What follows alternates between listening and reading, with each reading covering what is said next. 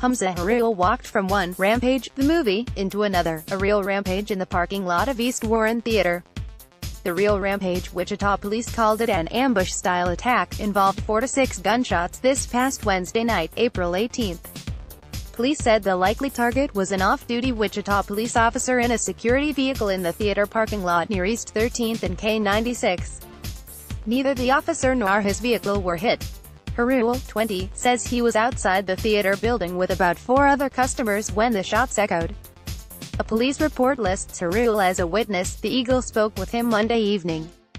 On Tuesday, Crime Stoppers announced that it has increased the reward for catching whoever shot at the officer. The anonymous tipster who helps solve this case is eligible for a $5,000 reward. Crime Stoppers said in a statement. Anyone with information can call Crime Stoppers 267-2111 or submit a tip from any PC or mobile browser by going to http colon slash slash www.wichitasedgewicountycrimestoppers.com or downloading our P3 app available on iOS and Android platforms, the statement said. Haroual said he had gone with his brother to see Rampage, an action-adventure starring Dwayne Johnson. They left a little early. As they were outside the building, about five feet from the wall, Haroual heard what sounded like a hammer chipping away at the building behind them. He recognized it as gunshots but saw no bullet holes. He thinks he heard five shots. It sounded like a handgun or rifle, it was too sharp of a sound to be a shotgun, he said. Police at the scene interviewed him that night, and an investigator called him Friday night. The off-duty police officer, in a security vehicle with flashing lights, was probably 50 yards out in the parking lot, Haroual estimated.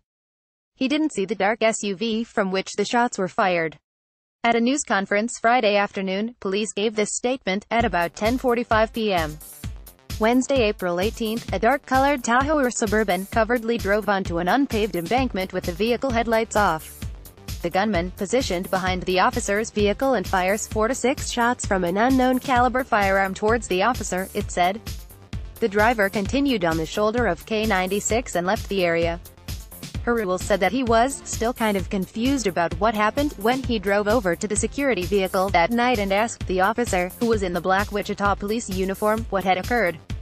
Gunshots, the officer answered. The officer had a flashlight.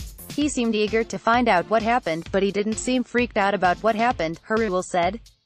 Then, in a separate incident reported at 12.45 a.m. Monday, someone fired shots at an unoccupied Wichita police patrol truck parked in front of an officer's house near East 21st and K96. Police said Monday that it is not known if the two incidents are related.